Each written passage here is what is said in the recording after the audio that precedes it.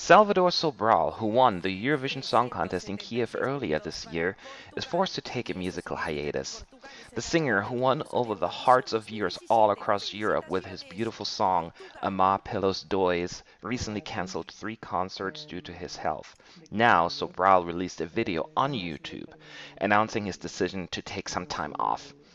It is no longer a secret to anyone that my health is fragile, he says in the video and that he has to remove himself from concerts and music. The singer does not know how long this break will last, but that he will be back.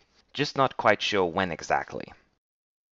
But Salvador will give one final farewell concert on Friday, September 8th before taking his break. Now, whether or not he will be back in time to take part in the Eurovision events and celebrations in May in Lisbon only time will tell. The singer is asking the media to give him time and room to breathe.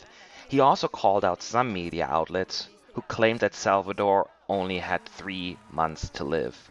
And another Portuguese tabloid called Flash claims that he desperately needs a heart transplantation within the next 12 months.